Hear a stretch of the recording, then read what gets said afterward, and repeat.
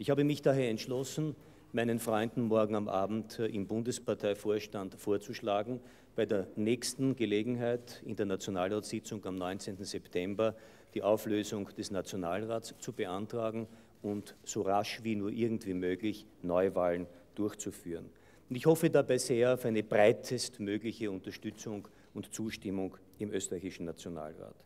Und dann werden die Bürger, und zwar jetzt alle und nicht nur einzelne Parteirebellen, darüber entscheiden, welches Programm sie unterstützen, welchen Personen sie die Verantwortung für dieses Land zutrauen.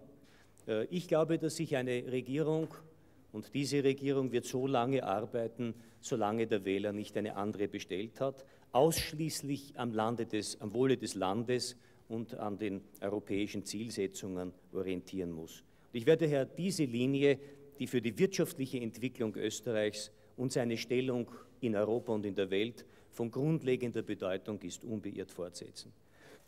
Ich werde mich mit aller Kraft bemühen, österreichische Interessen auch in der Zeit bis zur Neuwahl so wahrzunehmen und zu vertreten, dass das Land dabei gut aussteigt. Ich danke Ihnen und stehe Ihnen jetzt gerne auch für Fragen zur Verfügung. Erste Frage, Herr Titelbacher, bitte. Vorläufige Ende zu präsentieren. Können Sie seine Bedenken heute besser nachvollziehen? Gemacht hat, dass er wieder als Gesprächs- und Regierungspartner in Frage kommt.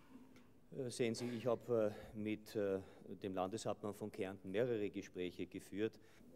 First of all, the Vice Chancellor yesterday explained uh, that the conditions to continue with the work uh, for the Vice Chancellor, the, the Minister for Finance, uh, today the Minister for Infrastructure and uh, the faction leader is no longer valid. Uh, there are so many problems and obstacles. Uh, it is not possible to guarantee uh, the, uh, the continuation of the governmental program.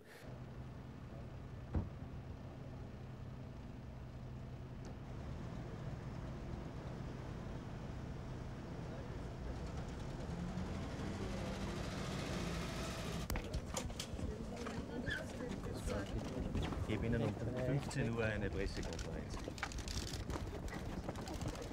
Ich bitte Hauptzeitler und Grenzerhof.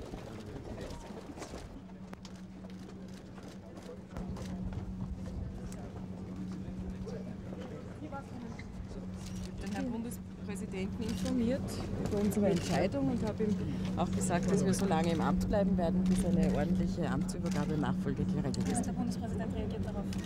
Also ich habe das zur Kenntnis genommen, wir haben ein sehr gutes Gespräch gehabt. Und es wird alles seinen ganz normalen Weg finden. Es sind alle nach wie vor im Amt. Es wird eine ruhige, anständige Vorbereitung für die nächsten Tage und Wochen geben und es wird daher, braucht daher auch keine Sorge irgendeiner. So